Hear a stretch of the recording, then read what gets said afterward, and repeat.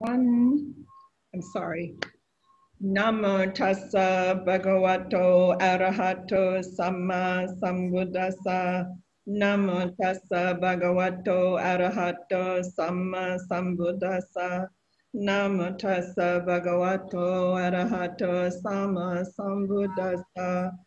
To him, the blessed one, the worthy one, the fully enlightened one. Sadhu, sadhu, sadhu. Welcome, everybody.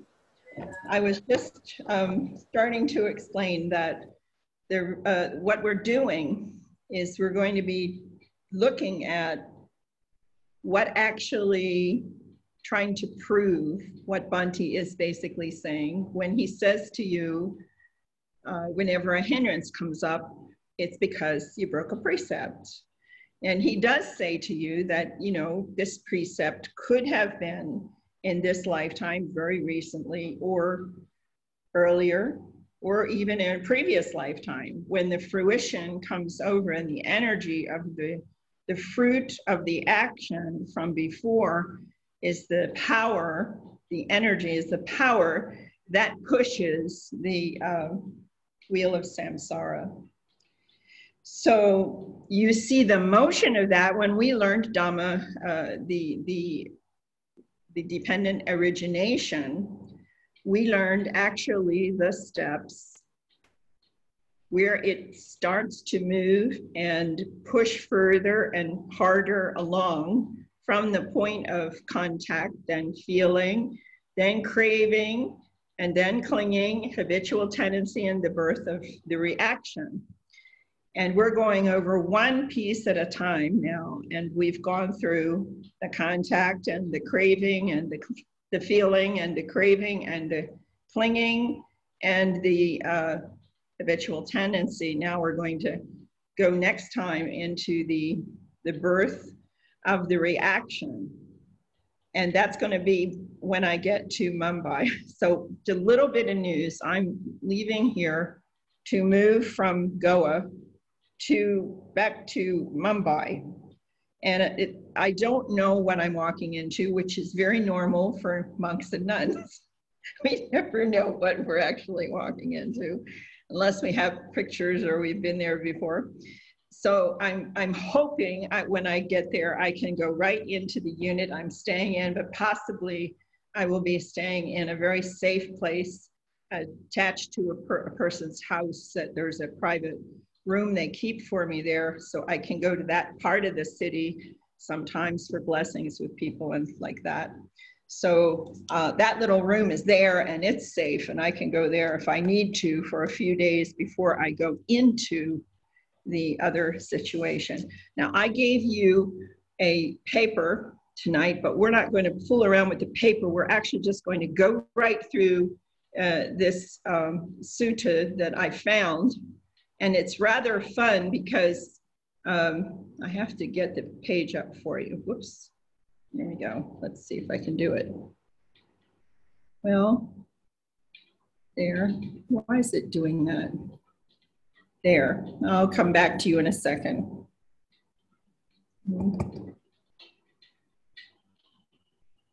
Oh, fudge fiddle dee fiddle dee dee. Here, if you wanted to uh, address her.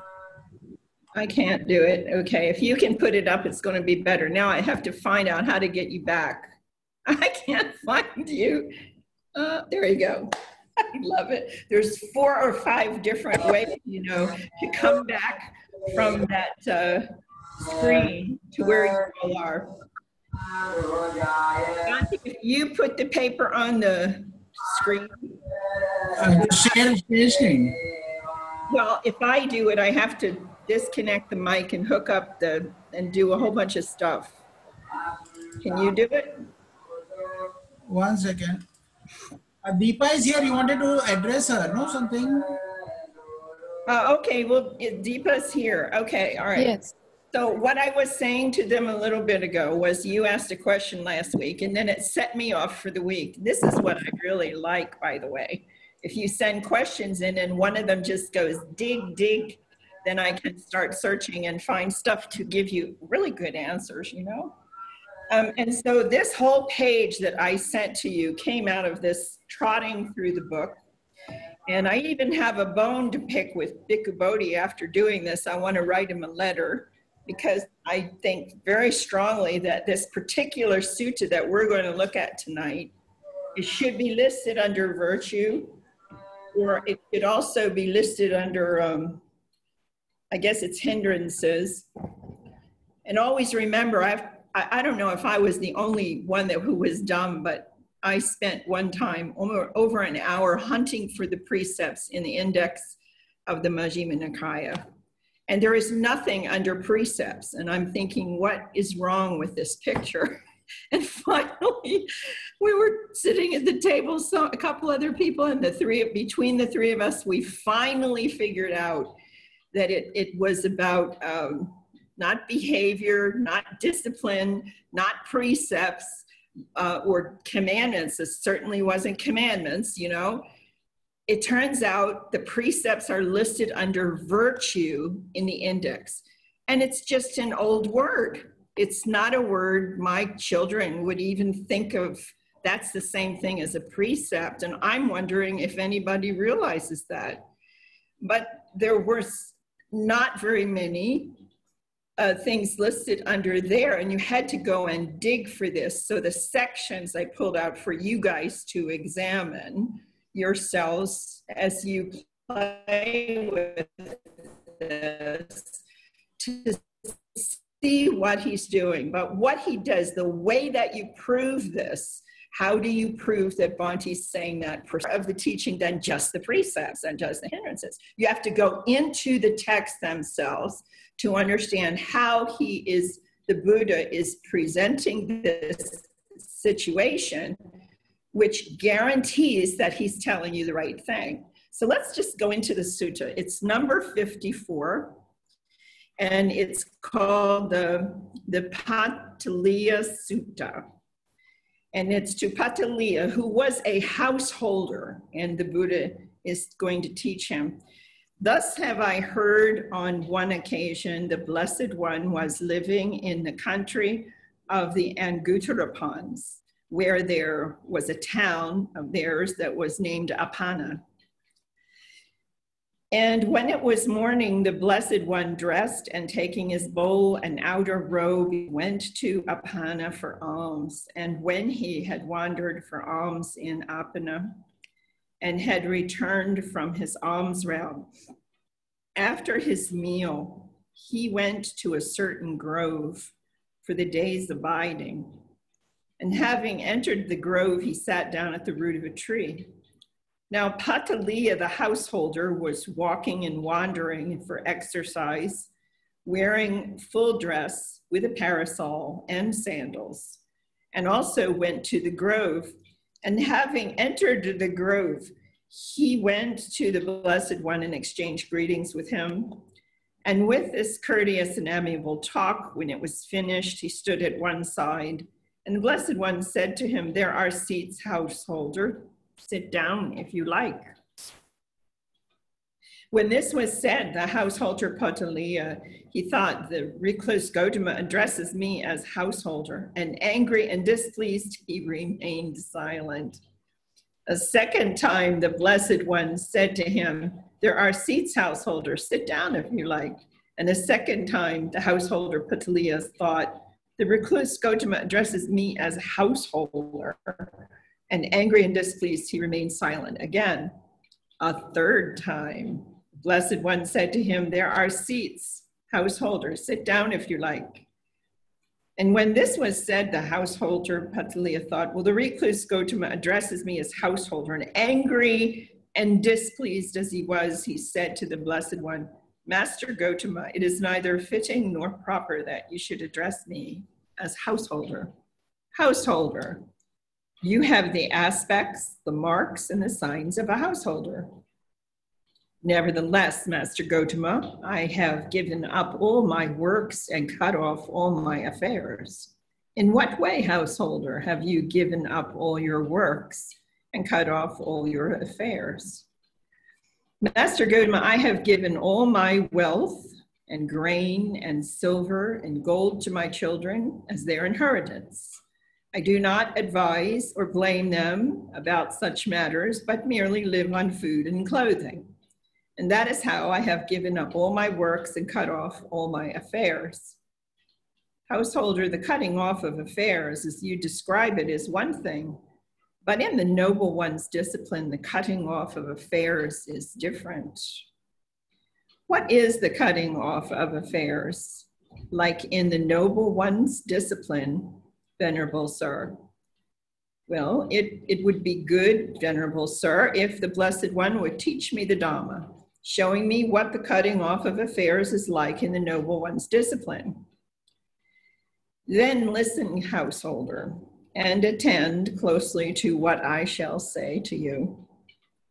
Yes, Venerable Sir, Potaliya the householder replied, and the Blessed One said this Householder, there are these eight things in the Noble One's discipline that lead to the cutting off of affairs. And what are those eight?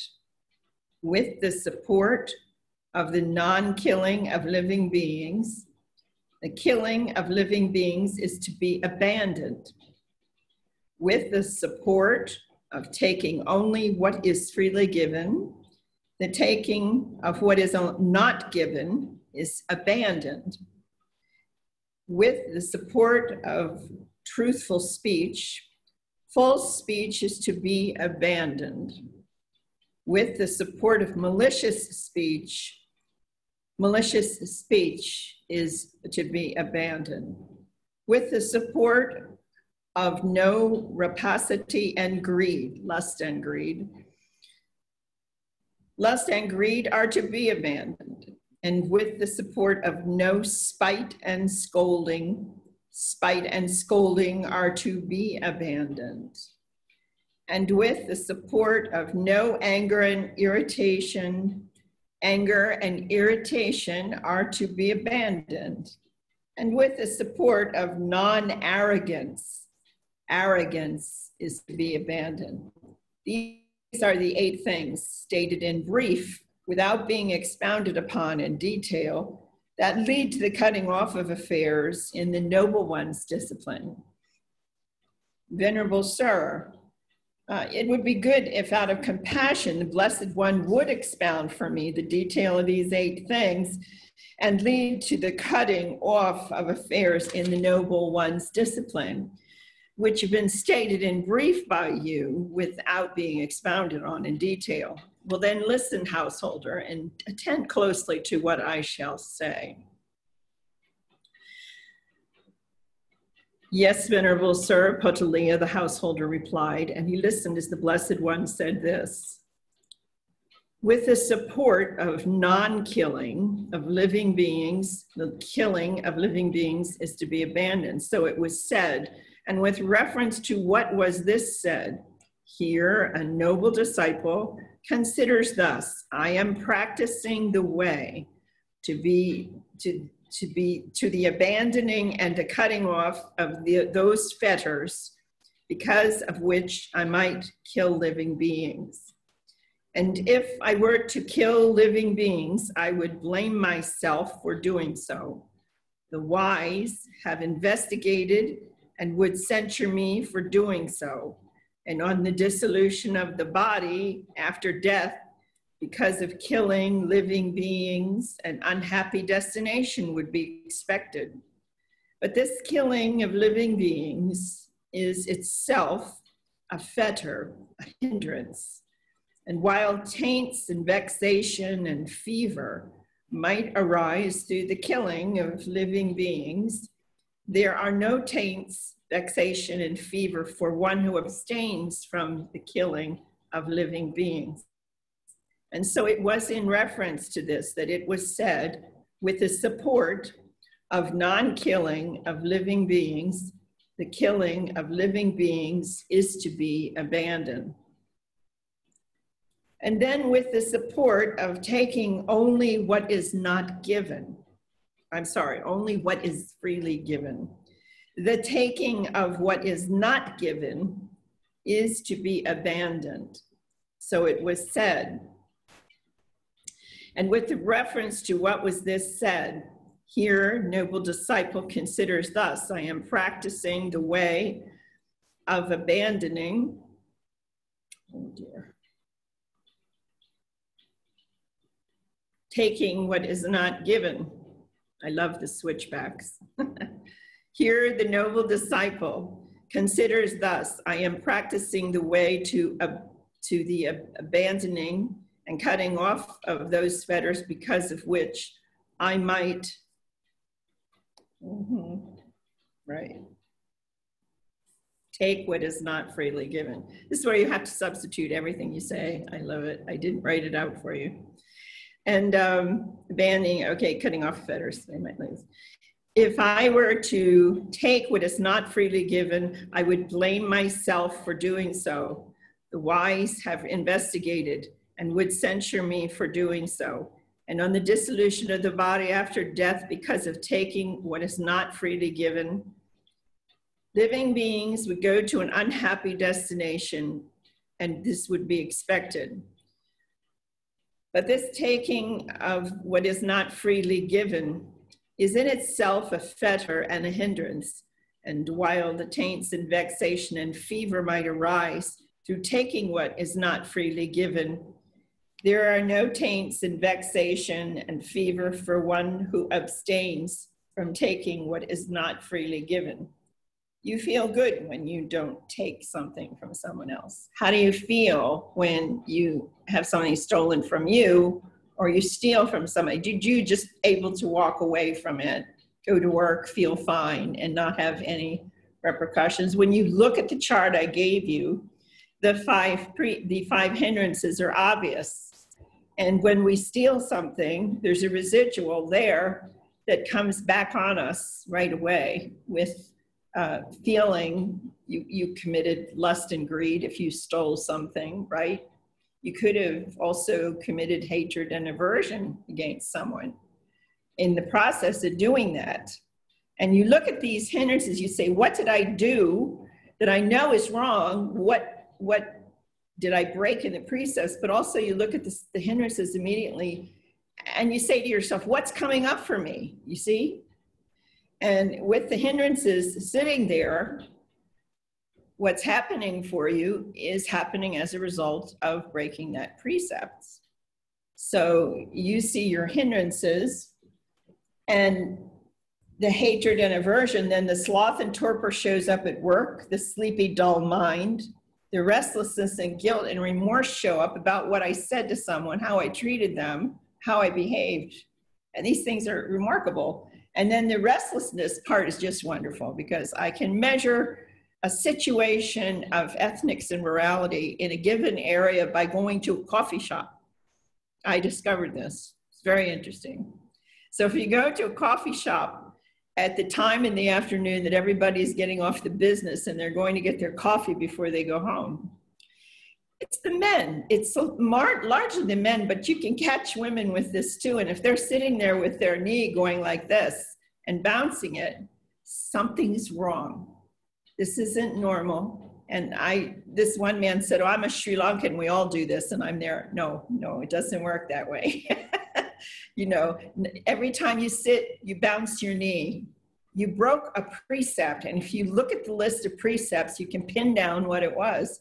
It may have only been cleaning the ants in the counter by killing all of them, and you never did it that way before. Usually you dust them into a dustpan and put them out the door. And you feel so bad you can't stay still in your meditation, you're moving, you see? So this movement is this restlessness coming out of the body. It comes out in your walk, comes out when you're waiting to cross the street, comes out when you're definitely when you're sitting there having a cup of coffee. I went to one place and there were nobody in the place was their knees were bouncing. I was amazed. I went to another place near the heart of the financial district in a large company, a large city and almost everybody's knee was bouncing. I don't know what the occupations were. I don't know what was happening, but it was very funny. And then you go to another area in the country. Everybody's very laid back and they're still, and they've got their cup of coffee and they're just relaxing, you know. It's very different. So there really is something to that. And then with the support of truthful speech, false speech is to be abandoned. And the false speech, so it was said, if with the support of um, okay then. So it was said and with reference to what was this said well here a noble disciple considering thus i am practicing the way of uh, abandoning uh, false speech and cutting it off as if it were a fetter because of which i might uh, i might tell a false thing i might say an untruth tell an untruth. And if I were to um, continue to tell false, commit false speech, I would blame myself for doing so. Have you ever lied? Have you ever been starting to pass around gossip? Have you ever done that? And how do you feel when you realize this, the, the reverberation of this? Have you seen the people suffer in the office if you try slander? And try to get a job by saying something bad about somebody else so they can't get the job? And how can you even work that it doesn't creep up on you? And if we don't see it in the office, your wife or your husband is going to see it at home because you won't be able to sleep and you'll be restless in the morning and it all trickles out. We're not built to cheat. We're not. It's not, it's just that way. Now, with the support of unmalicious speech, malicious speech is abandoned. So you make sure the malicious speech is um, rough speech, you know, cursing and things like that. It's the malicious speech, and also the malicious speech is slander. So you have two pieces here. You have malicious speech. Uh, gossip is telling stories about someone and they're not there to defend themselves. And you don't even know if it's true because somebody told you and you pass it along. And there's people who live for this a cup of coffee and a bunch of gossip and they don't even think about the damage it does. Because they don't even know if they heard something just very juicy they'll say. And did you hear about this? You know i dear me that's not good. But with the with the support of the lust and greed, lust and greed will be uh, abandoned. No a lust and greed, then the lust and greed will be abandoned. So, what is he talking about? He's constantly, consistently through the text. If you go back to number two, or you go back to number four in the Majjhima Nikaya, they're talking about replacing whatever it is with the opposite, you see, in those two suttas. And they're talking about um, how to remember that what you think and ponder on becomes the inclination of your mind. This is from another sutta. So you build your structure. And what do we know about our practice? We're, we're all meditators here. We know that if we start breaking the precepts and turning them around, that it comes out that we can't go any further than a certain point in our practice the blockade comes up, a wall will come right up in front of you. You'll go right into a wall. I've seen it happen. If with the support of no spite and scolding, spite is really hyper criticizing a person or putting them down as useless and things like that, and scolding is just scolding, scolding, scolding them to the point where they don't think they can do anything right. And this is the worst kind of thing that can happen to a person in a job and you want to run away from it. Like the woman I told you about in the office, and I promised you we would get to the the answer to that in the next Wednesday that we had. You know, what happened to her in the office when the boss came in every Monday morning and just stood there and spited her and scolded her, but for something that wasn't even really her fault. And we've been through things like that. The next one is no anger or irritation the irritation would be abandoned if we chose no anger and irritation. No matter what, how do we tell you to do this? Forgive it right in its face. The moment it happens, just forgive it. And then let it go. Relax, smile, and come back. That's what we say. Just forgive it. And the question, some person came right in my face once and said, Why should I do that? And I looked at him and I just went, you know, why not? Is the question. Why not do it? You look at this world and you say, well, there's nothing I can do about it. Nothing I can do about this world. But what would happen if a whole town just decided to say, well, I forgive you. You know, it's all right. You're having a bad day. You must be having a bad day. I have bad days and good days. Everybody has bad days and good days. Can't you do that with a person? You have to understand when you people are actually in training, you are building a trained mind. And you have gotten also into places where many monks probably don't get in their whole time they're training. They don't get this close to it. When we take you into those seven links and show you how to watch phenomena arise and how does it disappear and how does it work that this gratification happens where I get personally involved in it because you're taking a personal perspective of everything. And you think everything's about me and it's mine and it's myself. It's who I am. It goes that far. And so you live on the defensive and you fear everything. And you're afraid of going in front of people. You're afraid of, you might make a mistake. You're afraid of everything. How does that happen? How does it happen? Because you don't know how it works. But once you understand, for one thing, if someone's putting you down and, um, you know, really coming down on you hard, it's probably because they've had a really bad day. Can we say that and try that approach first? Maybe I'm wrong. Maybe I am. But I've seen some ridiculous things where people were really going to come after me. And I turned around and basically offered them a donut. or really just smiled and said, you know, remarked on how ridiculous this whole day is with the train not running or the lights going out or the phones not working in the terminals and things like this. And if you start laughing or smiling, it starts to shine a different kind of energy and people around you start picking it up. See? So anger and irritation doesn't go anywhere except getting you exhausted. Support non-arrogance. The arrogance is to be abandoned. That's fun. I, I sometimes think I, I don't know what I look like. I don't, I, and somebody said, why don't you know what you look like? Well, because I lived seven years without a mirror. I didn't have a mirror. And only time it was there is if I went down the mountain and in the old house, then it was there. But it wasn't there and it was covered up in the bathroom and in the trailer. I didn't know when I got old. I couldn't figure it out. I think the first time I realized I am old. There you go. I am old. Okay. Was when I got to Goa. and I got off the plane, and these medical doctors were waiting there to test people, and it was the last plane into Goa. And the Germans, they were lining them up and trying to figure out if they were going to send them to a hospital or not. And Bhante and I were the last two. And when the woman had separated us and told us to sit and wait because we were the the elders, you see. And they came over and stood in front of us and they had our little papers from the plane. And there wasn't anything wrong with what we said on the papers.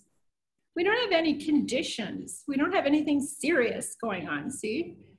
And then she looked at both of us and I said, Why is it you want us to go to a hospital? We're not going to a hospital. And they said, Well, you see, you, you, she just said it very calmly. You see, uh, you have a condition. You two have a condition.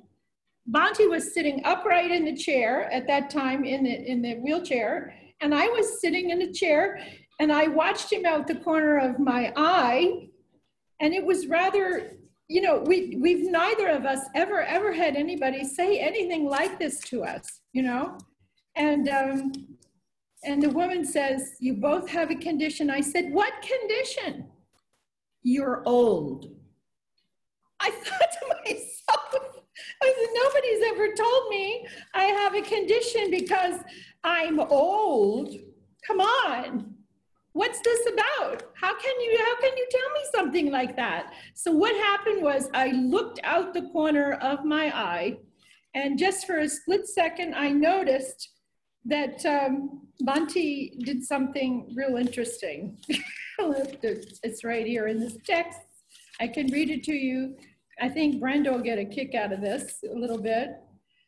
Basically, what happened was when this was said, my teacher sat there and sat silent, dismayed, with shoulders drooping, his head down, glum, without response, just like, ugh, like that. From here to just, ugh. You know, it was like being punched in the gut. And we're both there who know nothing's changed. We're, just, we're both there. And that was what happened. And of course, it didn't, it just sort of flew right through him. And I didn't quite know what to say back again, except I said, let me show you something. And I pulled out a copy of the six or seven retreats that we just did in the talks and everything, and three months of work. And I said, look, we've been in quarantine for three months. Every retreat we go to, people come in and we're there for 10 days. And then afterwards, four days and 10 days, four days and 10 days and four days. And I said, look, you can see the schedule and there's nothing wrong with us. And we're scheduled to go this place. So they, they let us go. That was very interesting. So the support for non-arrogance is the same thing. And so it was said without reference, what was this, what was uh, this said, how was this said? when a noble disciple considers I am practicing the way of abandoning and cutting off of those fetters. In other words, the 10 fetters, we, we talked about those. Okay, because of which I might be overly arrogant. A person will get arrogant. He says maybe the person got to Sotapanna. And the next week they come in, they're like, I'm here. okay. I just want everyone to know I'm here. I should sit in the front row. No, near the teacher.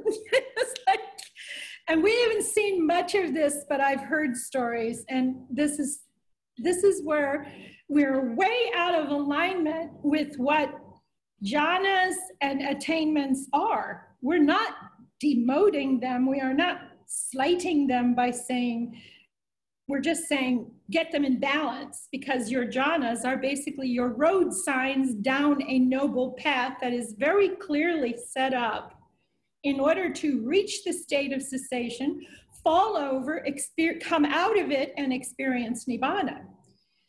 They're road signs. And if you learn about it, there's nothing wrong with teaching a person what is between New York and San Francisco. As you're driving across the country, you will know that you got to Ohio and you got to the Illinois and you got to the next state as you were going across the country.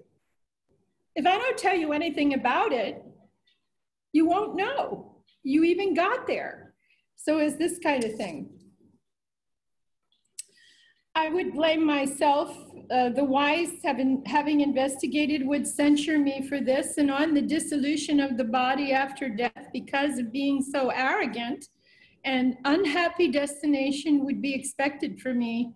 But this arrogance in itself, a fetter uh, and a hindrance. And, and while the taints and vexation and fever might arise through arrogance. There are no taints, vexation, or fever for one who is not arrogant. So each one of these eight pieces, if you go in there and find them, you can, I didn't put them in your paper. I was doing this separately, okay? And you see what it is, and if you let it go, you, you get a better deal. That's the way it works. Okay, and so it is with reference to this that it was said, with the support of non arrogance, arrogance will be abandoned. And so this is a form of right effort, isn't it? Because you see that you're being arrogant, you let go of the arrogance, you bring up non arrogance and continue with that. So there's your four steps of your six R's. Didn't you like the four and six there? Mm-hmm. the four, the six steps in the four steps of right effort. Actually, the sixth R is a repeat. Do it again as necessary. It is the prescription from the doctor to use the medication only as needed. That's what the repeat step is, okay? It doesn't mean I should repeat it, repeat it, repeat it, repeat it, and keep doing it all on every thought that comes up. It doesn't mean that. It just means if you're disturbed again, then and you pull, you feel you've moved away, then you run the five steps again. Okay. These eight things that lead to the cutting off of affairs in the noble one's discipline have now been expounded to you in detail. And but the cutting off of the affairs of the noble one's discipline has not yet been achieved entirely in all of the ways. Venerable Sir, how is the cutting off of the affairs of the noble one's discipline arrived at entirely and in all ways? It would be good if you would teach me the Dhamma, showing me how the cutting off of affairs of the noble one's discipline is achieved entirely and in all ways. Then listen to me, householder, and attend closely to what I shall say. Yes, Venerable Sir, Potaliya, the householder, replied. The Blessed One said this, Now, householder, now suppose that a dog was overcome by hunger and weakness and was waiting by the butcher's shop. And then a skilled butcher or his apprentice would toss the dog a well hacked, clean hacked skeleton of meatless bones that is just smeared with blood. What do you think, householder? Would the dog get rid of his hunger and weakness by gnawing on such a well hacked and clean hacked skeleton of meatless bones smeared with blood? No, venerable sir. And why is that? Because that was a skeleton of well hacked, clean hacked, meatless bones that was smeared with blood. And eventually the dog will just reap weariness and disappointment. And so too, householder, the noble disciple considers thus the sensual pleasures have been compared to a skeleton by the Blessed One. They provide much suffering and much despair. And while the danger in them is great, having seen this thus as it actually is, with proper wisdom, he avoids the equanimity that is diversified based on diversity. And he develops an equanimity that is unified based on unity with one specific task instead of uh, equanimity being uh, diversified, going here and there and everywhere, okay? Your equanimity is doing one particular task at a time, working on one particular piece of dismissing it from the eight pieces we were talking about a minute ago where clinging to the material things of the world will utterly cease without remainder. It takes you to a point where you can become a genuine minimalist. Do you know the term minimalist? A minimalist is a person who, you know, okay, we need a place to stay, and Deepa and I are hiking. So uh, we find a way to put some branches up on a three piece tree and put a platform and lean a bunch of branches, cover it over with leaves, and actually end up making a hut, you know? And we end up staying, we're, it's a minimalist. We don't need everything to live. We are, we are ready, we're, we're prepared for survival, is basically what it's about. And this is what he's talking about where clinging to material things of the world boils down to is forget about the AC. Let's hope that the water is clean and have a bathroom. It doesn't matter if you can sit or not. You can figure that out. I'm the one that takes a while to figure that out, but you can figure that out. But the point is, is it clean? And there's an old saying about if you live in a dirt floored hut, it doesn't mean you don't sweep every morning. You got it? You live in a dirt floored hut, but it doesn't mean you don't sweep it out every morning. The householder, suppose, here's another one, uh, suppose there was a vulture, a heron, and a hawk who seized a piece of meat and flew away and then the vultures and the herons and hawks pursued it and pecked it and clawed it. What do you think, householder, if that vulture or heron or hawk does not quickly let go of that piece of meat, wouldn't it incur death and deadly suffering because of that? Yes, venerable sir. So too, householder, a noble disciple considers thus. Sensual pleasures have been compared to a piece of meat by the Blessed One, and they provide much suffering and much despair because while the danger in them is great, having seen this, thus as it actually is with proper wisdom, he avoids the equanimity that's diversified based on diversity and develops an equanimity that is unified and based on unity, where clinging to the material thing of the world utterly ceases without remainder. It just isn't that important. It isn't that important. Householders, suppose a man took a blazing grass torch and he went against the wind. What do you think, householder, if that man does not quickly let go of that blazing grass torch? Wouldn't that blazing grass torch burn his hand or his arm or some other part of his body so that he might incur death and deadly suffering because of that? Yes, venerable sir.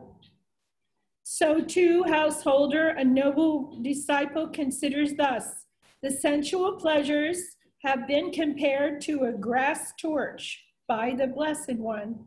They provide much suffering and much despair. While the danger of them is great, having seen this, thus as it actually is with proper wisdom, he avoids the equanimity that is diversified based on diversity and develops the equanimity that is unified and based on unity. Where clinging to the material things of the world utterly will cease without remainder.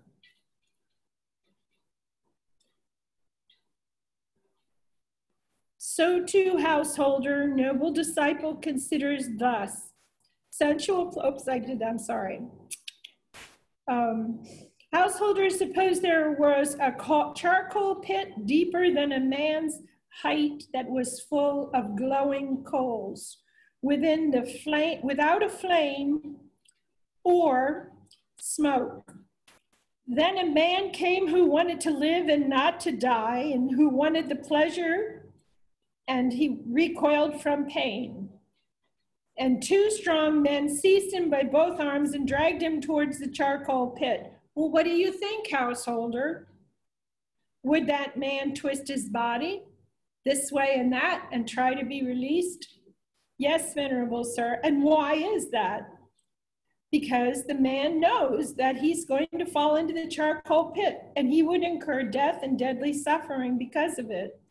So, too, householder, a noble disciple considers the sensual pleasures have been compared to a charcoal pit by the Blessed One, for they provide much suffering and much despair, and while the danger in them is great.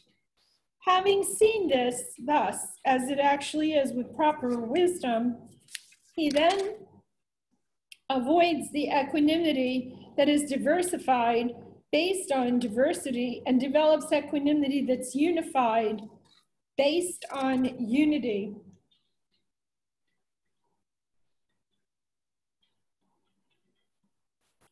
and he's clinging to the material things of the world utterly ceases without any more remainder.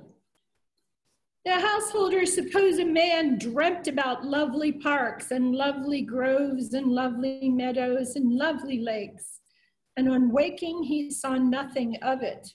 So too householder and noble disciple considers thus, sensual pleasures have been compared to a dream by the Blessed One they provide much suffering and despair, while the danger in them is great. Having seen this as it actually is without proper wisdom, he avoids the equanimity that's diversified based on diversity, and he develops the equanimity that is unified based on unity, where A clinging to the material things of the world utterly ceases without remainder. Householders, suppose a man borrowed goods on a loan. For instance, he took your fancy carriage and fine jeweled earrings and proceeded and surrounded by those borrowed goods, he went to the marketplace. And the people seeing him would say, That is a rich man. That is how the rich enjoy their wealth. And then the owners, whenever they saw him, would take back their things. What would you think, householder? Would that be enough for the man to become dejected? Yes, Venerable Sir. Why is that? Because the owners took back their things. And so too, householder and noble disciple would consider sensual pleasures have been compared to borrowed goods by the Buddha. And they provide much suffering and much despair, while the danger in them is great. And having seen thus as it actually is in proper wisdom, he avoids the equanimity that's diversified based on diversity he develops an equanimity that is unified based on unity. We're clinging to material things of the worldly, uh, of the of world will utterly cease without remainder. And householders, suppose there was a dense grove not far from some village or town, within which there was a tree laden with fruit but none of its fruit had fallen to the ground.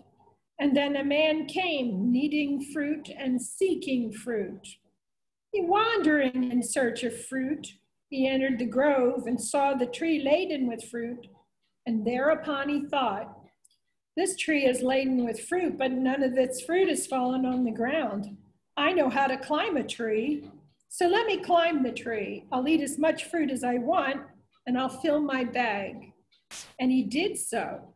But then a second man came who was needing fruit and seeking fruit, wandering in search of fruit and taking a sharp axe. He too entered the grove, and he saw the tree laden with fruit. And thereupon he thought the tree is laden with fruit, but none of the fruit has fallen on the ground. I do not know how to climb a tree, so let me cut this tree down at its root and eat as much fruit as I want and fill my bag. And he did so. And what do you think, householder? If that first man who had climbed the tree doesn't come down quickly, when the tree falls, wouldn't he break his hand or foot or some other part of his body so that he might incur death and deadly suffering because of that? Yes, Venerable Sir. So too, householder, a noble disciple, considering thus the sensual pleasures have been compared to fruits on a tree by the Blessed One. They provide much suffering and much despair. And while the danger in them is great, having seen this, thus as it actually is, with proper wisdom, he avoids equanimity that is diversified, based on diversity, and he develops the equanimity that is unified, based on unity, where clinging to the material things of the world utterly ceases without remainder. So he's talking about the gradual development of the student who is letting go more and more in the process of the development of your meditation. It's not an urgent thing to have 15 pairs of shoes and 40 dresses and this kind of thing and to get down to basics and organize your life and structure it in a way for the for the householder I'm speaking of. And for the monks, it's different. We, you know, when we become, when we go into the, uh, when I went into this, I had uh, a giveaway uh, because I knew the Native Americans did this and chose to have a giveaway, which in some Buddhist countries, they do this too. They leave the home and go to get ordained or they uh, sometimes will they give everything away before they go to get ordained and take a new life. It's different. In the Native American tradition, when they changed your name because you did something, you, you changed from little fox into brave wolf. So all the toys and everything were given away, and all your small clothes and all your moccasins and everything, your chair, small chair, everything.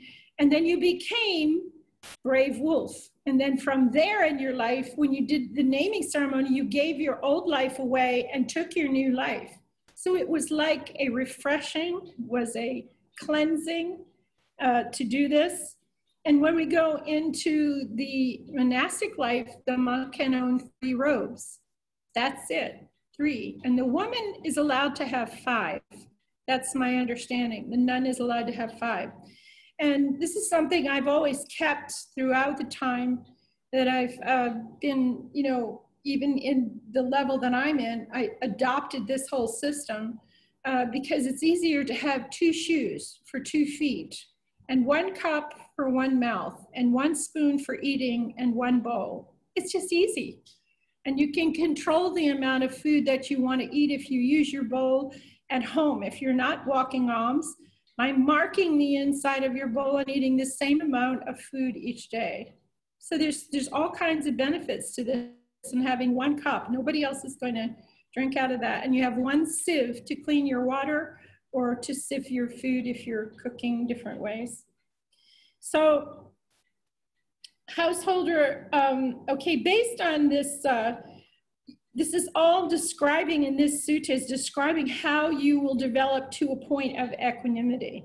This is an advanced sutta, but I'm going to read you the next part, but it's not something most of us would get involved in. And it's something that you really should, most of it, the part about past lives is something you don't do unless you're with a teacher and unless you can maintain a fourth jhana level and when I say reaching, it's one thing that's inconsequential with this, because when they're talking about this kind of balance of equanimity in uh, unified equanimity, they're talking about being able to do to mastering uh, determinations that I can sit just in one jhana for a whole day, just in the fourth, just in the third, and then shorter pieces. This is a, a skill training thing for the brain and if you, you can learn to practice that way, your, your brain is getting sharper and sharper and sharper to do exactly what you wanted to do and go to a meeting and leave the meeting, come back to the drawing board and then go talk to your director and come back again. And it's so precise, your brain starts working in a very,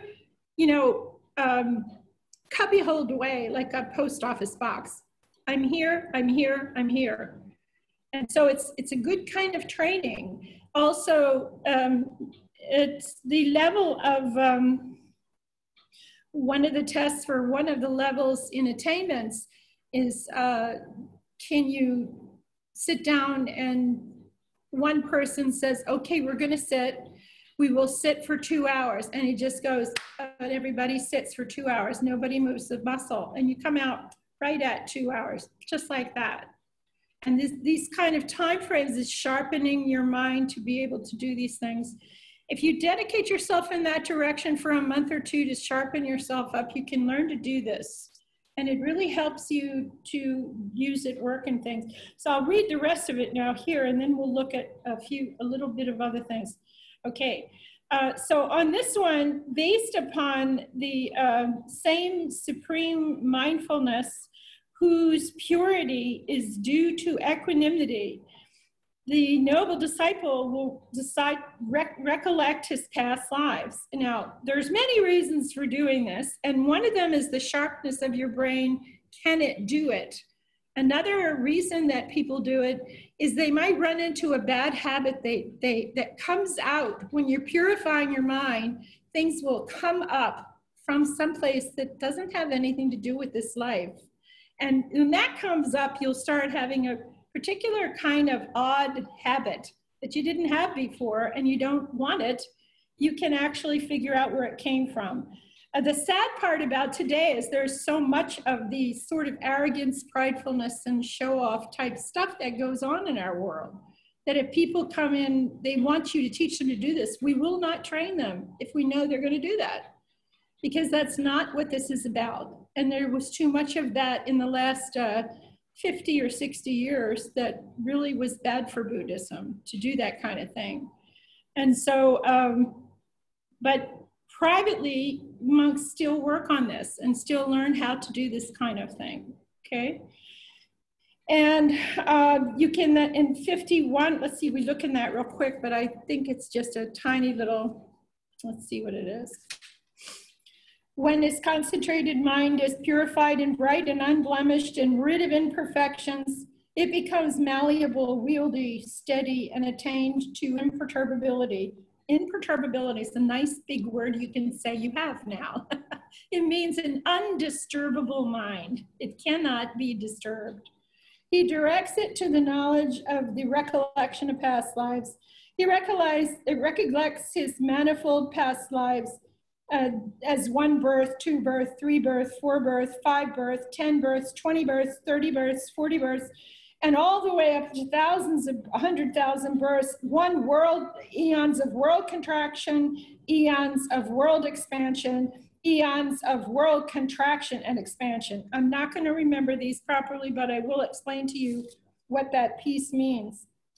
Uh, this is when a person goes back uh, for uh, other reasons to do past life regressions and wants to really get detailed in what went on. There could be, actually we have somebody here who's really good at that. Brenda High. she does that with people to help them go back and see for certain reasons, if something's bothering a person, there can be any number of reasons to go back and find this.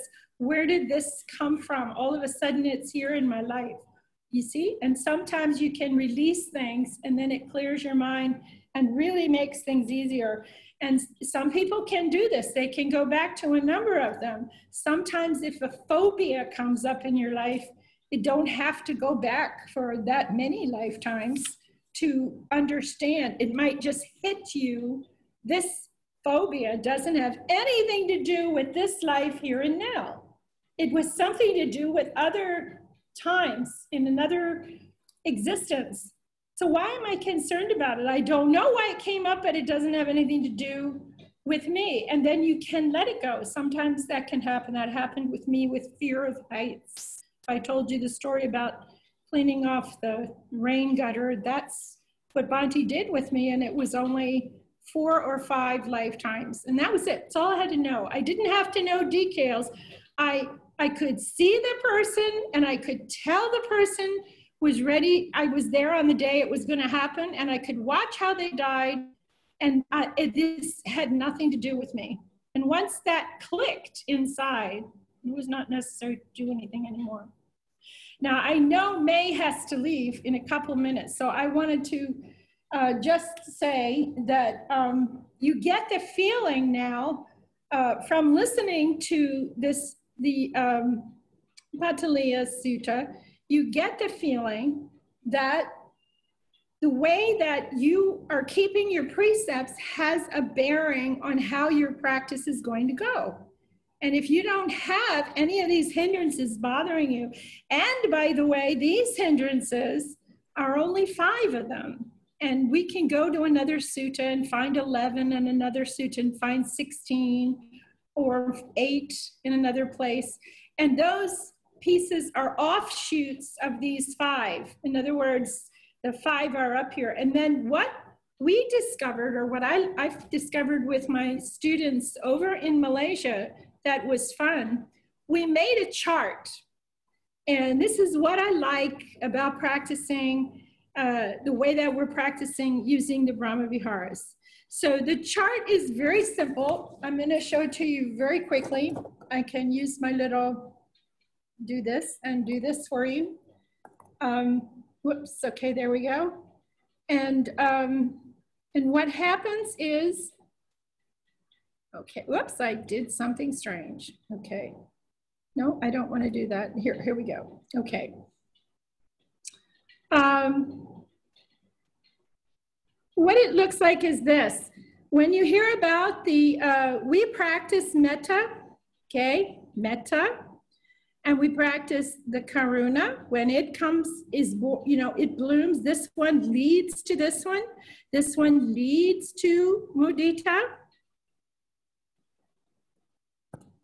And this one leads to upekkha.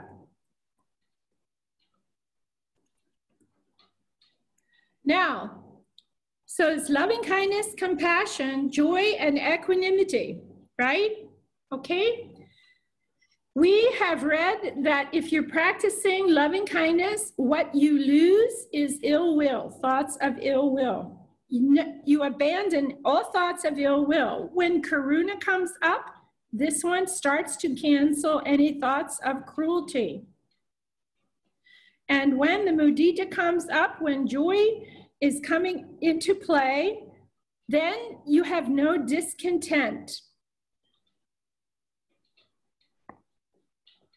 And when upekkha comes in, this one is where aversion completely disappears.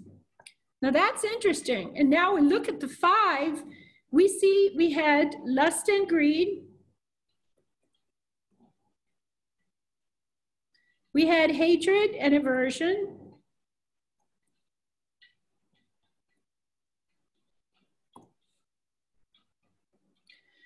Uh, we had um, sloth and torpor.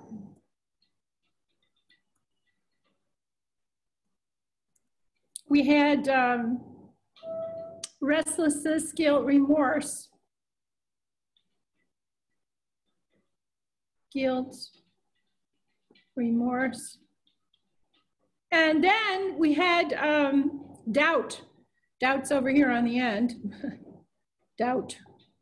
And we had a big chart we made of this. And what we did, um, well, let's see, there we go.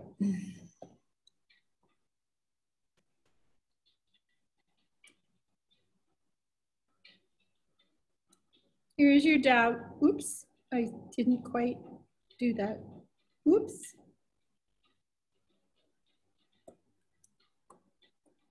And then what you do is you kind of play with this and you look and see these four are like seeds. You see, these guys are like seeds.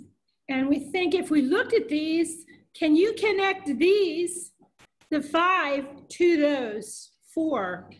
And then if you go to sutta number, you can do this yourself, go to Majjhima Nikaya number 128, and you take the 11 pieces there there's 11, some of them, there's a couple of repetitions, but not very much.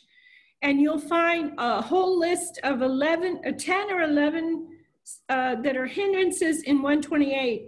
And those are going to stem also back up to here into these. See, that's what I'm after. I was trying to see connection. And when we had this chart, then we went somewhere else and we dug up the negative pieces in, um, I think you can look in two, you can look in four, you can look in uh, 128. Um, and I gave you guys a list. I know if you came to retreat, you got that list. And you go and you find where they are, the other ones. And the idea is do all of these come back to these four? And it's very interesting because what I'm showing you is a secret that exists in 62, Majjhima Nikaya number 62, and that's the Maha Rahulovada Sutta.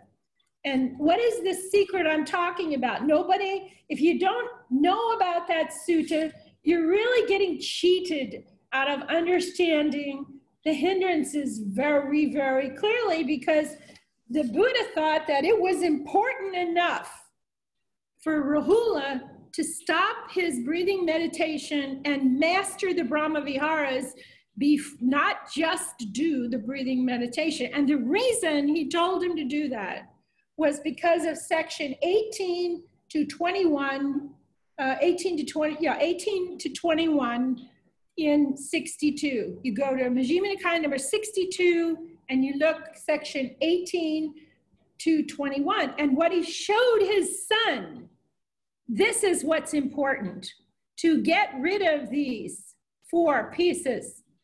And if you get rid of these four pieces, it doesn't matter what you use as an object of meditation or the basic method is if it's going down the same path to go through the same levels to reach cessation, experience nibbana, you must get rid of these. So, how are you going to get rid of them is to counter them and use something that destroys them. So, all of these, if they're connected like this to that, okay? If we teach you this, we're showing you how to get rid of the whole thing. And that's what he did. And that's an interesting sutta because it was not taught to a group of monks. This was a private session between the Buddha and his son when he was up there practicing breathing meditation. Okay. So once again, when you look at the sutta, you look at the hindrances. Okay, when we look at the uh, the hindrances and these these wonderful, yeah, here we go. Try again. I can do it. I can. Of course, the bell's ringing. I love it. Like, you know, she. okay, I'm going to do it this way. I have to just go for just a second to the door and I'll be right back. So I don't know how to make this big. Bunty, you have to tell me how to make it big again.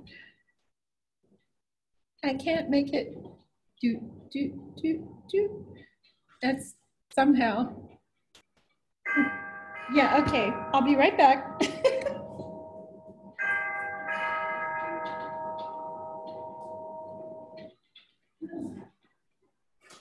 Hello. Are you dropping out? I have a class. I'm in the door. You can shut the door. Okay?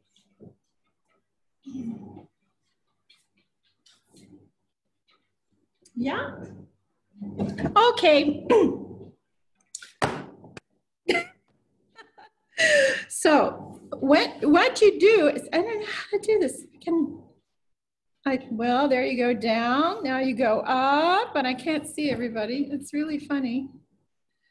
I don't know. Stop stop the share. There. That was a simple message and I couldn't find it. okay, so The objective here was to really get you to see that he's not going to come out and teach it in a single lesson.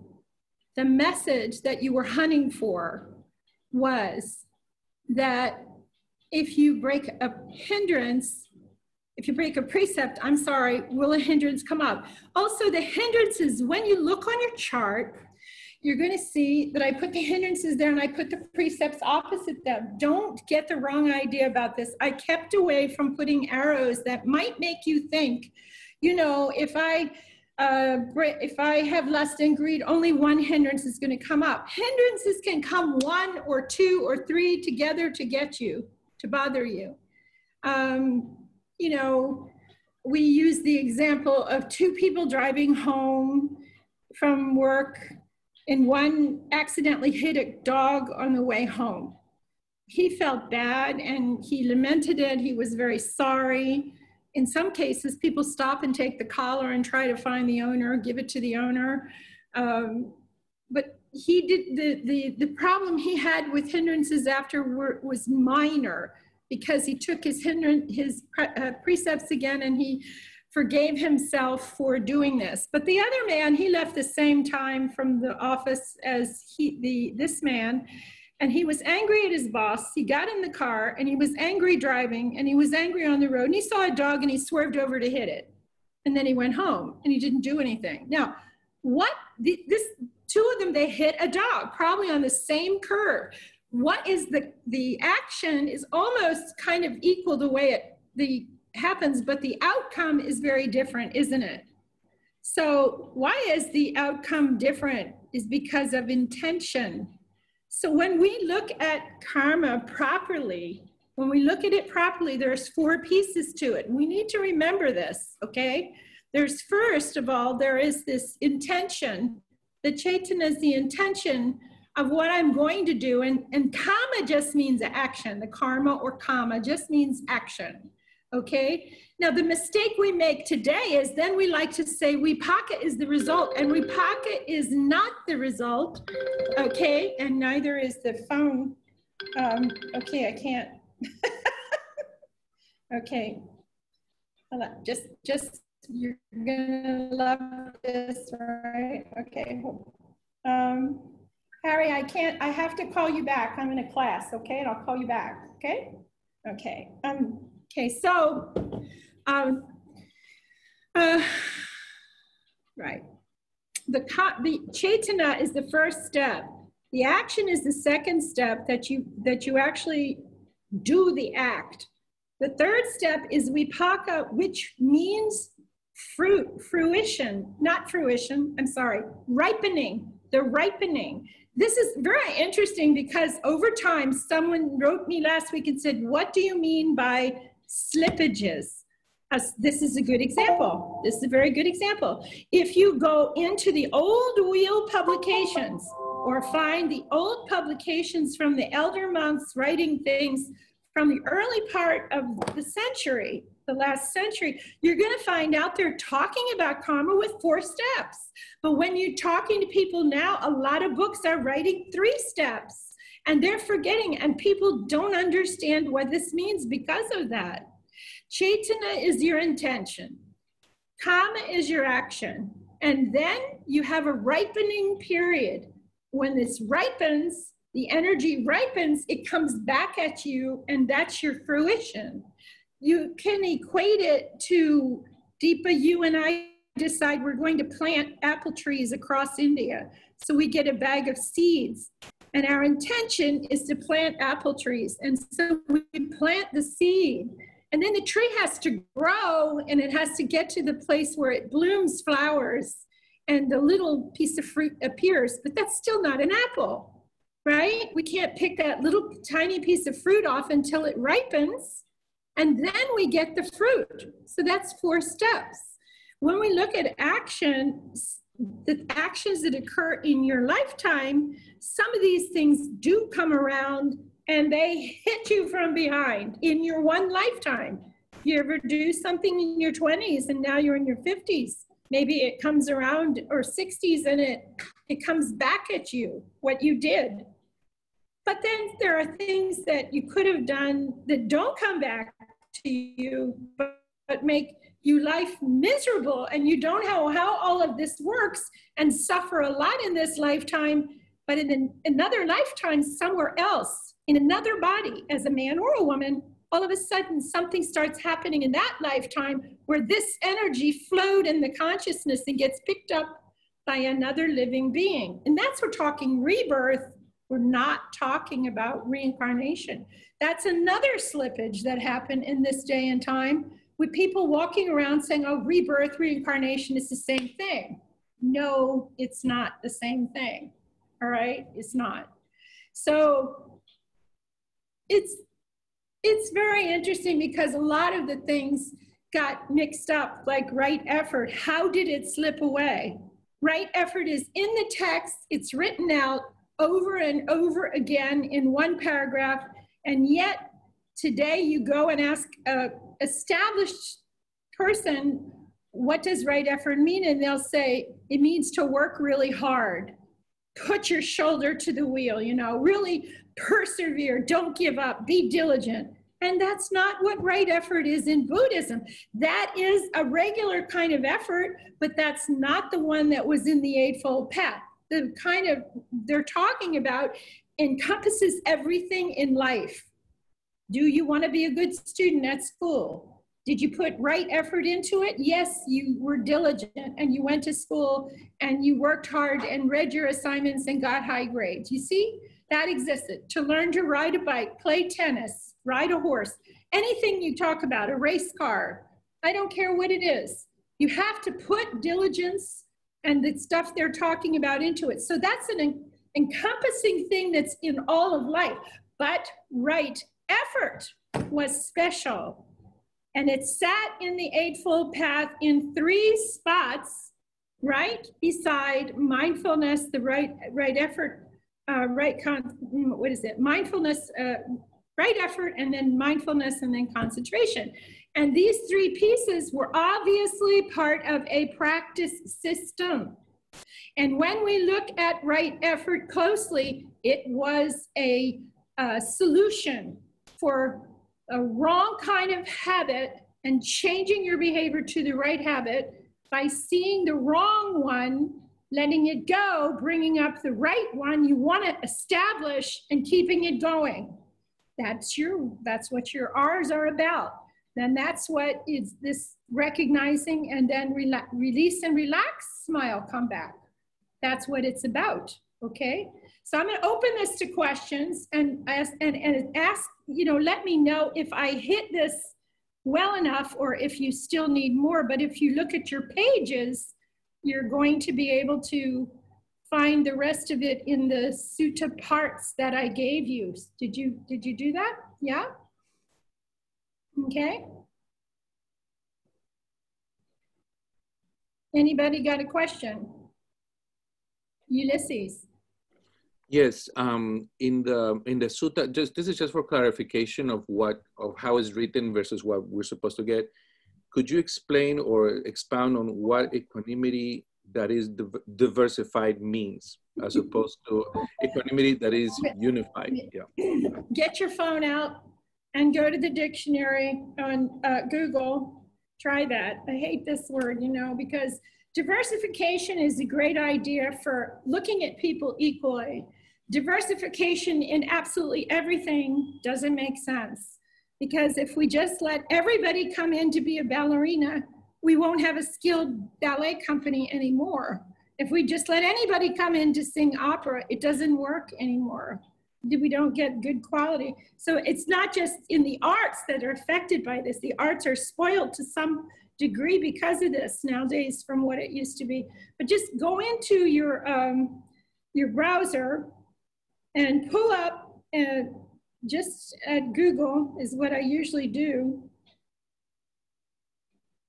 And let's see, that's right, Google will do it just fine. Google, right? Mm -hmm and then define, define, diversity. It's diversity, right? Mm -hmm. it's a bad dictionary. You can't, you can't say um, define diversity. Diversity. See, this is a bad dictionary. The diversity means the state of being diverse. Okay, what does diverse mean? Go ahead, look up diverse, D-I-V-E-R-S-E. Um,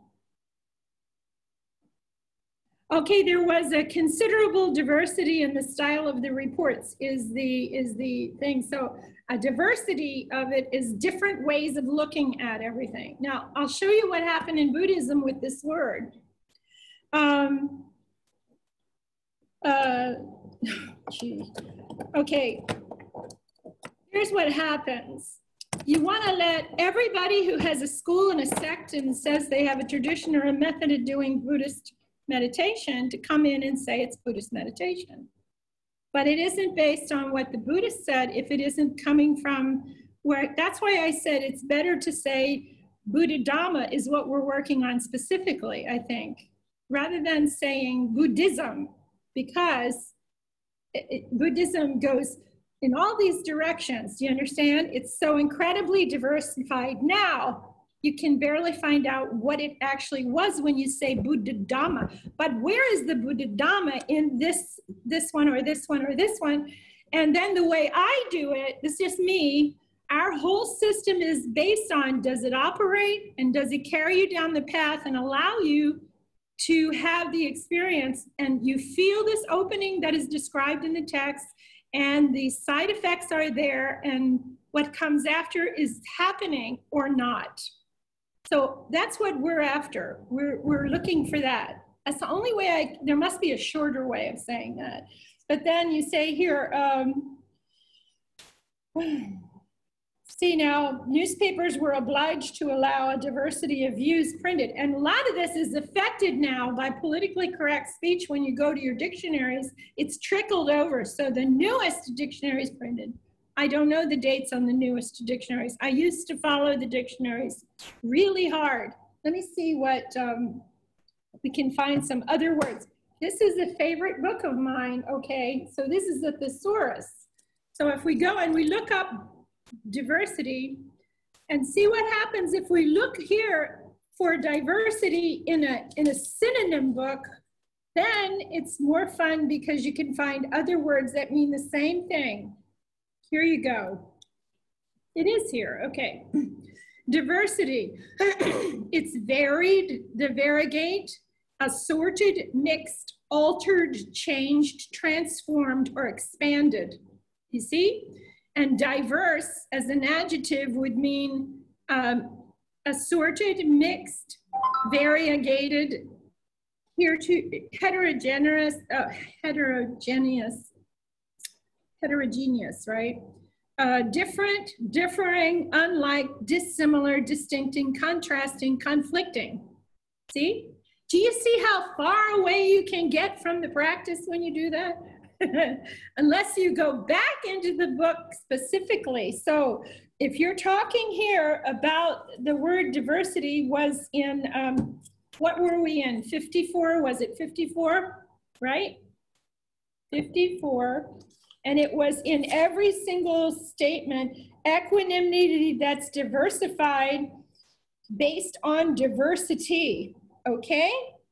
So it's diversified equanimity that's spread out okay? And what he's saying is the only way you can go down the path is if you have an equanimity that is unified based on unity. Unity with what? Unity with purpose and direction with the path. You see? That's the way you would look at that. You get it? Okay? Yes, yes. And I, I guess the, the, the reason why it was difficult to grasp is because I, I, I didn't see how the word equanimity would work in the diversified field, you know, like how. Do you how remember, the, okay, do you remember the chart that I gave you and one of the pieces on the chart that I let you guys see, the one that I built that was the half moon? Do you remember that that's the diversification of equanimity on one of those lines? And it, it's, it's a gradual development from the beginning, the very beginning of equanimity from just sitting still and being calm all the way into the first, second, third, fourth level of equanimity down through the mental states into disenchantment and then into um, dispassion and then into imperturbability. Absolute level of equanimity, the highest level is imperturbability. There's nothing you can do to disturb the person's mind. They just say, okay, that happened. Now that's past. What do we do next? that's about all that happens. I mean, like we blew a tire. I remember we were crossing country in a, uh, like a mobile thing for Bhante to live in one time. We had this uh, vehicle and the tire blew and it blew a hole right in the wall where the bathroom was in this vehicle. It was a big mess.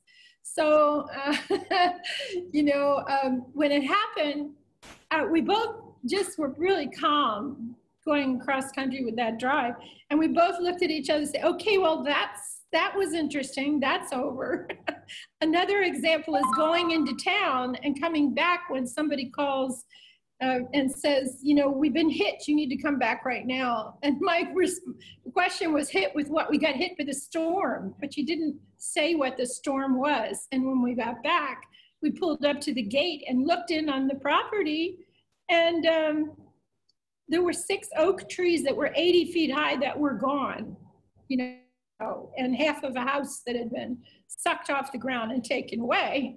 And, and we just looked at it and he, and he said, well, that's different. And I said, he said, what's in your mind? And I said, what immediately came to me was we don't have to raise money to tear down the house now. It's in another county. It went away. You know, it flew away. So the diversifi diversification is this idea, and this is a good, it's a strange word. I don't, I should have more discussion with you about this, with what you're doing in your work, Ulysses, because you're in a place where diversification is very vitally important. But if you pin one of those people down and ask them to explain what is diversification, they can't explain it. They can't explain why you're going to have peace through diversification. Now, see, accepting all groups, that's one thing. But by setting up what this one has to want absolute, that one wants absolute, that one wants absolute, that one wants absolute, is, is what can totally tear a country apart. And you're watching it happen. You're watching it happen with what's going on with that, you see? Really crazy. There should be some way to realign everybody. Like maybe we should give them all, um, I don't know, give them all something so everybody's calm and nobody's going to call anybody any names and nobody's going to be rude. And then we can come up with a balancing bar. And somehow there has to be a way to do that. But he, this, I think this, you could probably take this statement in the Sutta Ulysses where it says, he avoids the equanimity that is diversified. When you're going to, um, oh, I just had it and it just left. It went in one, one side of my head and went out the other. Um, to try to go down through the path with a diversified approach is fruitless. The Buddha tells Vaccha that, doesn't he, in 72? Remember, we went to 72? Do you remember that? In 72, he explains to Vaccha he simply cannot do understand what he's teaching um, because if you hold another view, accept another teaching, approve another teaching, pursue a different training, follow a different teacher, you can't understand what I'm trying to teach. That's what the Buddha was telling him in section 18 of 72. That's what he was saying. So this is why when we had a conference once, peace through diverse through diversity, peace through diversity. And I spent three years trying to figure out what that meant. And I really was trying to put the benefit of my doubt out there to see what it must mean something. The UN is using it. This big conference for all of Buddhism was using it. And yet the people weren't working together, weren't sharing, and weren't, you know, what did it really mean? And so the question with that operation was what were they really doing, you know, over the whole thing? So I don't know. Another question, anybody?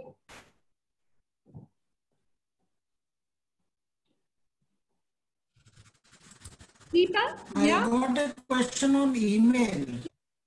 Huh? Yes, okay. I got a question on email, which is, Okay. uh, okay. Can you Go hear? ahead, Auntie, yeah, go ahead. Okay, uh, I am using TWIM uh, as the framework, forgiveness as object of meditation, coupled with a simple form of pranic healing to overcome the knee-jerk tendencies. Sister Khema suggested.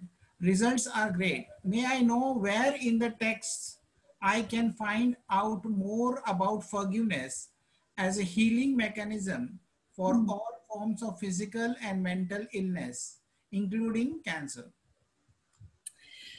Uh, that takes a bit of, uh, you know, in the text itself. I haven't in, in the Majjhima Nikaya. This is one of the pieces where when he's explaining, when he's teaching you something and an offshoot comes and someone actually said to me one time, Bhante, um, why are you teaching forgiveness? There's no forgiveness taught in Buddhism. And I said, wait a second, every night at the temple in Malaysia, we have a ceremony. And in that ceremony, I don't know what I did with it. In that ceremony, okay, Kayena Wachachitena, you tell me what that means. What does that mean? Kayena Wachachitena. What does it mean? Thought, uh, speech, and uh, body reaction. If I have done anything with thought, body, speech, or action, please forgive me, Bhante. So that means if you're a good Buddhist, you're going, That is what. Yeah, for your, for the end of the day. It's not in the morning, is it? It's only in the evening that one is there. Is that right? There is also a Vinaya where uh, monks, when they, they uh, leaving, taking leave, they take, uh, ask for forgiveness. Is that Pavarana or different? The Pavarana is just at the Kathina? Yeah, uh, is, I, I, I'm not exactly sure the uh, Pali name, but uh, this is what we do a forgiveness thing. And at the end of the retreats, which are uh, done on uh, Bhante's retreat, is the same uh, kind of thing. Here you go. Kayena wachichitena pamadena mayakatam. Achayam kama me bhante buripanya tathagata. If by deeds, speech, and thoughts, heedlessness, if, it, if by my deeds, speech, or thought heedlessly I have done anything wrong, forgive me, O Master, O Teacher, most wise. This is the equivalent of a confessional in the Catholic Church on Saturday. This is kind of what is there happening for you. There is a for in- also and there is a for Sangha also. So And for Sangha also. Supposedly, this is used on a daily basis. And what it's saying is if you have broken a precept, then you're taking your precepts again, you're getting back on track, and you keep going in your life. You do not carry the burden of this, the idea of, um, of the, the burden of what was done wrong. You do not carry upon you in your life as a heavy thing because it's past. And you try to learn to stay within the present time as the only weight upon you. And so it's easier to be happy if you have this much. But when you have your back filled with stuff from the past, you're carrying around with you. And then you put another spare pack on front of you to worry about what might happen next. Those little tiny packs, you know, that you can hang on front of you. And then try to walk. You're walking like this, it's pulling you down and weighting you back. You can't even walk straight. You see? So the Buddha says, stand up straight. Take those packs and leave them at home. Leave them at home and go to work. Pretend to take this off and put it down. Take this one off, put it down. Now go to work and stay in the present time, and that's all you have to do. The weight of that cannot be that heavy. See? It allows you to have the space to smile. One So, more question. Mhm, on Yep. The the second question. Uh, can we use the phrase from Majjhima Nikaya 148 Chachakka Su- Sutta? This is not mine. This I am not. This is not myself. In overcoming hindrances. For example, when discomfort, tension, and tightness arises, that we have difficulty re- uh, releasing and relaxing. I have tried a combination of rolling the R's with this phrase, and the discomfort. No, no, and no, and I think I know who this is. I don't remember, but they wrote me.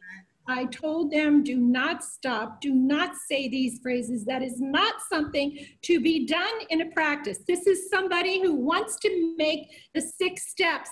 One, two, three. Wait a second, four. Hold on, I gotta check for tension from here to my toes and back again. Five, six. Okay, I can come back now to my meditation. To do anything, it should be like this. To do anything such as that, to step away from those six R's and do anything outside, such as what you just described, saying a phrase or adopting a scanning technique and then coming back. You want to know what that is? That's two different meditations you're doing. So when I ask you to sit for 30 minutes, and if something comes up, run your six R's, that's okay. But if you sit for 30 minutes and after five, you go over here and do a scan for five minutes and or three minutes and come back and then reset yourself and then start again. No, that's two different meditations you are attempting to do. Don't do this. It's not necessary. What you're missing the, the reason it's happening is because I personally need to control this and make it happen. And no, you don't. The lesson here is to surrender to the command center. Surrender to, if I let go in my mind, relax my head, smile and come back, the rest of the body will follow. The point of your practice is to learn uh, to have these things happening automatically. And it is imperative you get the six R's in two or three seconds.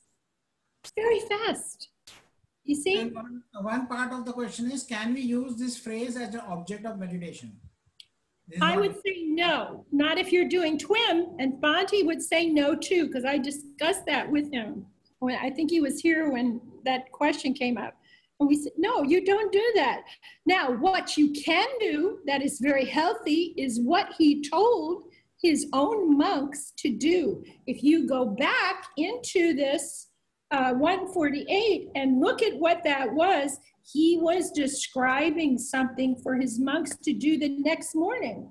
He was describing for them, so in these, these uh, 148, very distinctly, the uh, de demonstration of not self is to be practiced by the monk. The monk is to go out the next day and recite this and walk with it. If anyone says the I is self, that is not acceptable. That is uh, the rise and fall of the I is seen and understood. And since its rise and fall are discerned, it would follow myself rises and falls. That is why it's not acceptable for anyone to say the I is self, therefore the I is not self. You should take this whole section, the section of demonstration of self, and then you walk around again with the origination of identity to find out how did it happen? How did they get like that? How did we find ourselves in that position?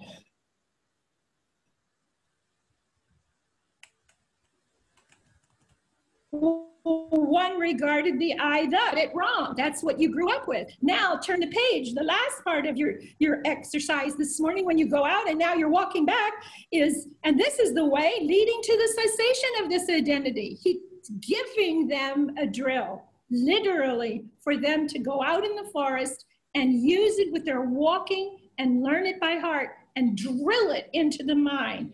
One regards the I thus. This is not me. This is not mine. This is not myself. One regards uh, the forms thus. This is not me. This is not mine. This is not myself. You see that? Yeah? You see?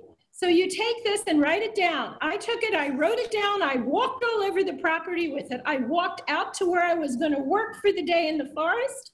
I was saying it all the way out there. Um, and then if I took a break, I would sit there and just do it for a while. And then I would walk down the mountain to lunch and say the next one. And after that, I would say the next one. And then I would go take a nap. See, that's what we did with it. It's actually physically a drill that he gave those monks. It's so clear. Go and read it. So should See? we do it or not? That is the question. Should we then uh, you are saying that you are taking that as a uh, object of meditation? No. If you are saying that you are as a form of walking meditation to drill the mind to believe this as much as possible, but don't spoil your meditation practice by trying to insert this in the process of your six R's. No. No. Question. The second question is uh, taking this as a object of meditation. So you can take it as a object of meditation. For walking. For only walking. I would recommend it because yeah. you know the other thing you want to get your mind to give up is um, repetition, repetition, repetition, repetition of, of um, may I be happy, may I be happy, may I be happy sort of thing. You don't want your mind to rely, you don't want to rely on that. You can, if you want to sit and do it in one spot, I suppose you could, but you need to tell me what happens. The point is, don't let it into your meditation okay. itself. Don't do that. Because what's happening is it's going to make it happen as part of your meditation. It won't permit you to develop and slide and start going down the road. It won't it'll stop you. Okay, that is yeah. over. That questions are over. okay. Anybody else? More than one and a half hours. Okay. Yeah. Anybody? Anybody else? Any questions? Hmm. Yeah. Sister, uh, deep, deep, yes. Okay, Deepa. So yes, uh, this is about the uh, what you drew on the board today.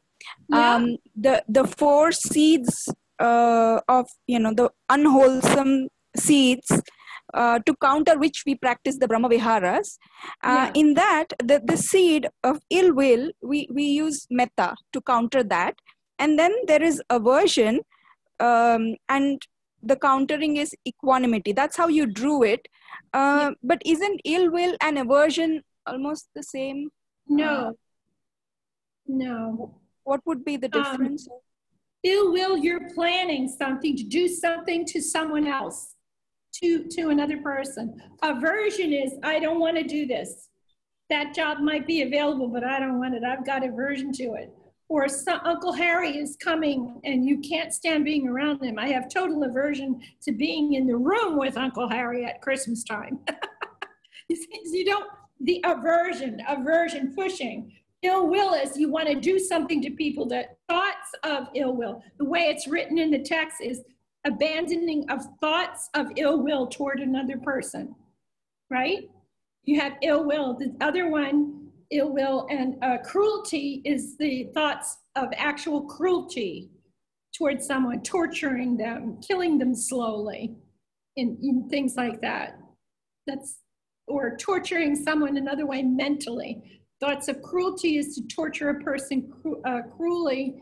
Um, mentally is to, um, men uh, we say verbal, mental and verbal abuse in a situation with an elder or a young person. Either direction can happen, you see? And that's a, and, that's a form of cruelty. And discontent would be, uh, would, would be like jealousy and envy, those kind of things? uh, no, just discontent is like, I'm not happy with this. I'm not happy with that. I'm not happy with anything. Nothing the person can do for you in a relationship will make you happy. Have you ever met somebody like that? Or somebody that no matter what you do, you cannot please them. They are discontent with everything. There's an upsetting wave of energy inside them of discontent. You see? Yeah. And, um, uh, and discontent um, do you ever, did you ever, did you ever have somebody give you a present and you were really happy? You know, and when you're really happy receiving something, it's hard to be discontent about anything in the room, you or anything with anybody or anything, because you're so happy. You see what's happening? Decide. So let's see what discontent. Just fun with my little dictionary here. I don't really like this dictionary, but we'll try again. Let's see, define how they put it.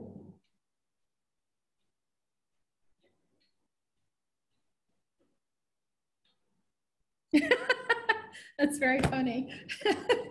define, uh, no, they don't define any discontent. so let's see, let's see if it's in here. Sometimes they're in here. And um, yeah, okay, I bet you it's here because, let's see, there's a lot of disses here. Not, not content. Discontent means not content. Um, so if we go to discontent, discount, here you go. Okay, somebody is discontented,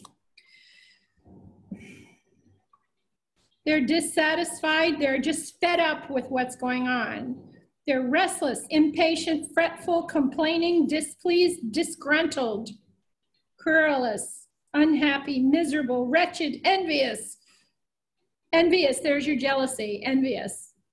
So discontented with a situation to the point of being envious of it and jealousy are kissing cousins, okay? Regretful, disaffected, exasperated, irritated, chagrined, annoyed, peeved off, piqued, and, and so forth. There's another one in here I don't want to repeat. Okay. but these little books are great. I mean, they're more useful to English as a second language. If you're a writer, these are worth much more than a dictionary because this teaches you how to not repeat the same word when you're writing things over and over again. You, it, you know, if you're like me, not a big vocabulary. so I just didn't spend it. So is there another word? Was there another word too, or just that one? That word? That, yeah. So as you progress through your Brahma Vihara practice, what you are eventually left with is letting go of all kinds of aversions that come up. Sure. You're letting go of, um, any uh, over overbearing uh, lust and greed to have things, and any hatred and aversion towards anything. Okay, and you are um, uh, hatred and aversion is the ill will and cruelty in that category. See, so they're all related when you draw those words out. You know, it's amazing. Um, the trouble with that diagram I did for you is that when I did it originally, I did it on a big white board and I never did it on the computer. And it's too bad because, you know, you can play the game of putting them all on there with the ones at the top, the four of them at the top. And we feel like we uncovered, my students felt like they uncovered a secret. You know, that if we, if we have loving kindness, uh, compassion, uh, the joy and equanimity, the balance of things, which is like just never mind, let it go. Anicca, it's going to go past. You see, it's, that's where the anicca connects into this. Um, but if you put them on the top of the board and you write everything else you can find in the book on the board, then you start drawing lines and just asking people which one at the top is this connected to, and they all sort of go in. And the five of them are connected to those four at the top. And the same way, you can draw a line to there, the, the four of them, okay? So which I just feel like he had the meeting with his son was the time when he did that with his son, 62, uh, he was getting ready to go off and teach on his own. That's when that was happening, when he was about 17. And so, um, knowing that, it's just like he wanted to give him an edge, you know, to protect himself when he left. And of course, it got preserved, but he was 18 years old when that one was happening, okay, that sutta. And so, um, teach going over the elements with him and how to use the elements in meditation and then showing him the importance of the Brahma Viharas. And the reason we say the Brahma Viharas are so important is because for the lay person, these Brahma Viharas are very usable all the time. You've already found out that. you know, with how much, see? And so the average person, you can talk to anybody from any religion about these um, four pieces of loving kindness and compassion and joy and balance of mind. You can talk to anybody. And then you can teach them just never mind when you start to get your blood pressure up, just never mind because it's going to pass. And everything passes. And if somebody's really upset, you ask them sometime, have you ever had anything happen that didn't go past? And they'll sit there and say, no. Well, then why are we still talking about this? And it happened 10 years ago and it's still upsetting you.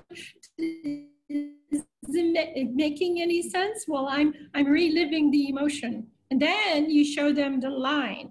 You show them the, the balancing line of the past, the future, and the present time and you ask them the questions what is the past, what is the future, and look at the present time. It isn't agitated, it isn't heavy, it's not a burden. And so the present time is where I want to live. Yeah? Okay? So this is like, we can't say happiness is such an interesting thing because you could do a whole talk on happiness.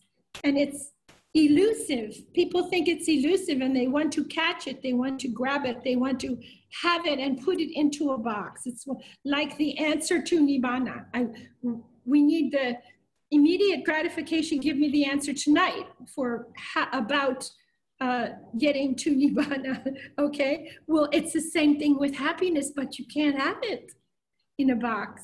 Why? Because it comes and it goes and it comes and it goes. So, how do we treat it? How do you treat a river when you go down a river in a canoe? Do you fight the rapids or do you live the rapids? Do you go with the flow through the rapids to make it to the bottom of the run? You see? And you can't fight it. Just the way the story of the ocean, you cannot fight with the whirlpool. You will drown. You see? or the undertow. and you want to swim back to your mom. No, you go with the current and towards the beach and get out and walk back to mom. okay? All right, we need to cut this off. Everybody happy? Yeah? Any other questions? Any questions? Okay, here we go.